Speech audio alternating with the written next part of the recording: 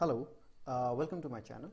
In this video, we'll talk about how to implement dependency injection in a WPF application and the choice of uh, framework .NET Core.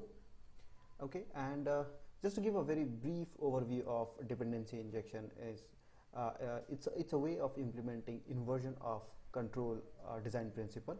What it says is that an object, it should not worry about creating its dependent object by itself okay?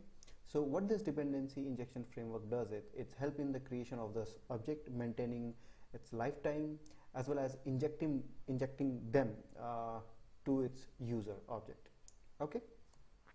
So uh, what we are going to do is we are going to build a .NET Core WPF application and uh, we are uh, we will be using a NuGet package uh, called Microsoft Extensions dot Dependency Injection.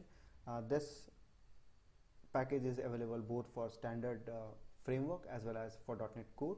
So we are going to use this framework and uh, implement, uh, see how we can implement dependency injection in WPF application. Okay, and uh, the second package which we are going to use is a Microsoft Entity Framework Core.SQLite.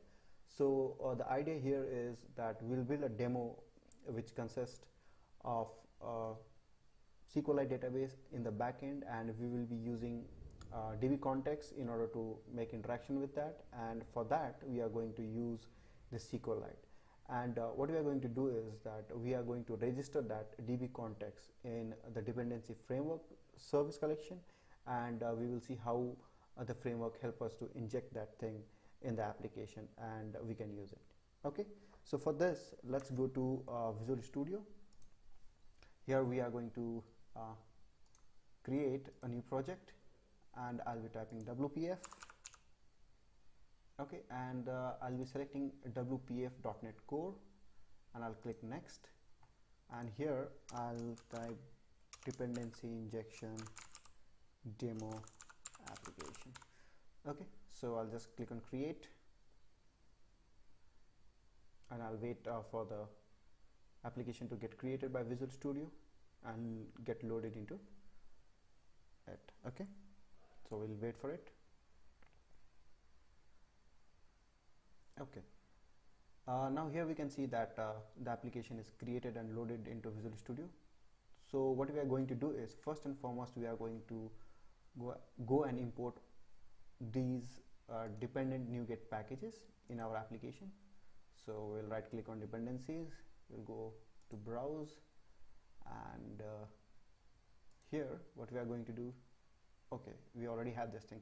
So we are going to uh, bring this package to our application. The first one is the Microsoft extensions dot dependency injection. So we'll click on install and we'll click on OK. We'll accept the license agreement and we'll wait for it to get installed. Okay now it is installed. The second package which we want to use is the Microsoft's uh, entity framework Core.sqlite okay so I'll just uh, select this and click on install. Okay and I'll say okay and I'll accept all the license agreement. Okay now all the packages are installed successfully. So what I'm going to do is I'll just close all this thing and I'll just do a build. Okay and check everything is okay and we have no compilation errors. Okay fine. So uh, next what we are going to do is we are going to add a folder called data. Okay and uh, within this folder application uh, in this sorry within this data folder we are going to add a class called employee. So this class will act as a model uh, for our application. Okay and we are going to store few uh, data in it. So what I've done is I have uh, already written few lines of code so that you don't need to see me typing. Okay so this employee class have three properties. First one is ID second one is first name and the last one is last name. Okay? So we'll just save this.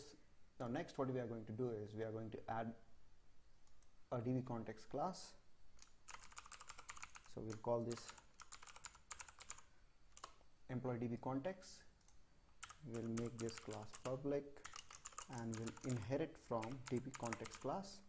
And we are going to import the entity core framework namespace. Okay? Cool. So next uh, I've already written the code so I'll just bring them here. Okay. Now I'll explain you this code.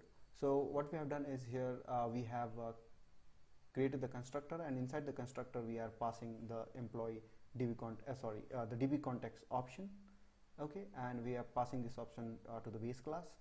And within this constructor we are making sure that uh, the database which we want is created once we access this uh, context class. Okay. The second thing which we have done is that we have created a public property of dbset uh, which holds a reference to our employee which is the model for this class third what we have done is that we have overridden the on model creating method so that uh, we can populate our database with some records over here. Okay? So we have called this get employee here and we are making sure that uh, this model uh, builder will uh, pull uh, put this uh, data within this database inside this data sorry inside this entity employee. Okay? So this is it. Now next what we are going to do is we are going to create a code so that we can use the dependency injection in our class. So in order to implement that first we'll create a variable of service provider okay? And this thing comes from the Microsoft extensions dependency injection namespace okay? So we will import that. Okay we'll give the variable a name. And next what we are going to do is uh, we are going to put some code in the constructor of this app class okay? The first thing is that we are going to build a service collection. We'll name it as service okay? Next uh, since we have uh, got our provider class the service collection uh, object now we have to register some services to this service collection okay? So what we are going to do is we are going to create a private method within this app class so that uh, we can register all our objects there itself. So I'll create a method. Sorry configure. Services and we'll pass this service there. And we'll generate this method. Okay? So uh, within this method we are going to register all our services. Okay? Next what we have to do is that we have to build these services. Okay so this is services dot build service provider. Sorry. Okay. So we have build our service provider. Now in this method what we are going to do is we are going to register our employee db context to this services collection. Okay. So let's do that. We'll add a db context that is of type employee. Db context. We'll bring the namespace. Okay. And here we have to pass the db context option. And within the within this option we are going to say that please use SQLite. Okay. And we are going to bring uh, the namespace here. That is of Microsoft Entity Framework Core. And uh, within this we are going to pass the connection employee the connection string okay? So we have registered our employee db context uh, to the services okay? Next uh, what we are going to do is we are going to register this main window to the services to the service as well okay? So we just want a single uh, instance of this main window class. So we are going to register as a singleton. Okay? So this is done. Now uh, in WPF if we go to app.xaml here we can see that the startup URI is main window.xaml okay? So what we are going to do is we are going to remove this thing. And uh, we want the dependency framework to inject uh, the instance of main window on the startup event of this application class okay? So what we are going to do is we are going to create on startup method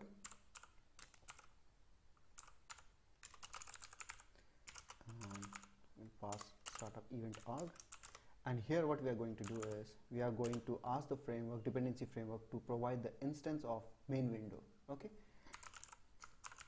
So we'll create the variable here and we'll say service provider please give me the instance of main window which we have registered to you. Okay?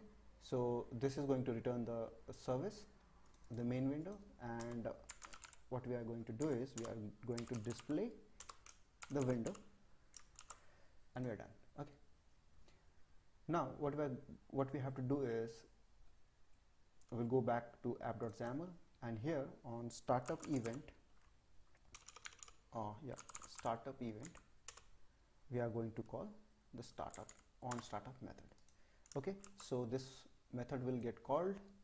The object will be asked from the dependency framework provider and it will show the main window. Okay so let's do one thing. Let's just execute the application and see if uh, the main window gets loaded. Okay so I'll just uh, execute the application without debugging. So I'll click on it. The main window should get loaded. Okay perfect. The main window is loaded. Okay so we'll just close it. Okay now what we want to do is uh, we want to make use of this employee DB context and display some value on the main window user interface. Okay so for that we'll go to main window xaml.cs class and here uh, we will create employee db context variable. We'll import the namespaces. We'll give it a name of db context. We'll copy this thing. And uh, we'll okay put there. We'll say this dot.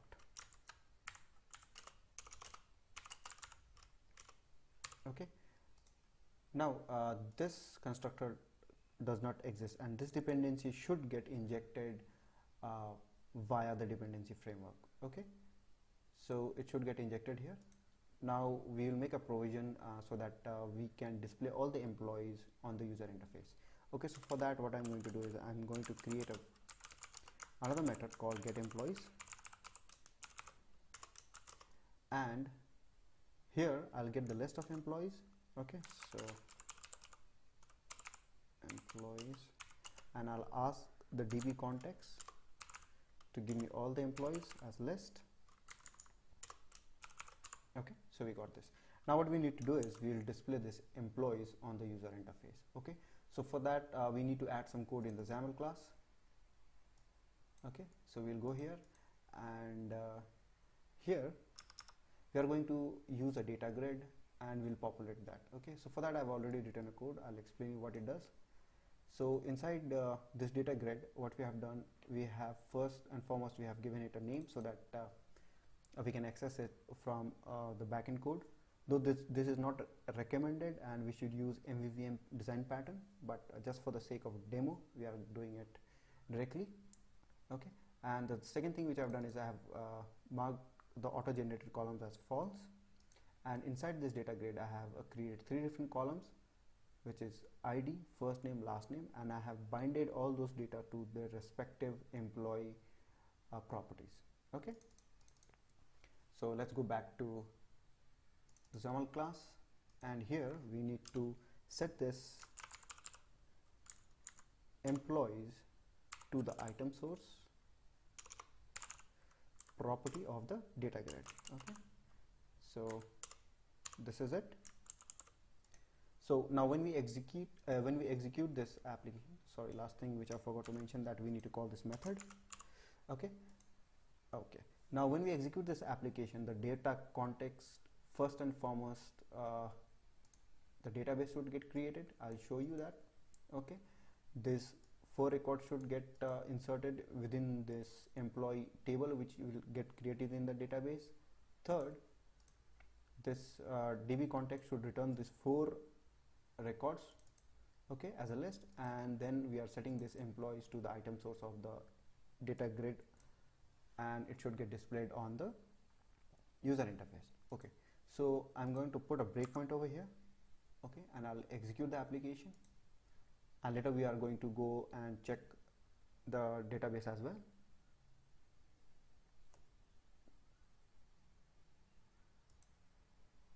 okay.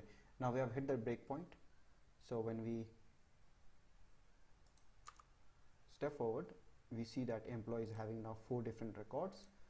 So we'll just remove this thing and we'll hit F5 and it should get displayed on the user interface. Yes perfect. Now here we can see that uh, the data is being displayed on the user interface and this dependent object that is employee DB context is being pushed from the dependency framework to this main window okay?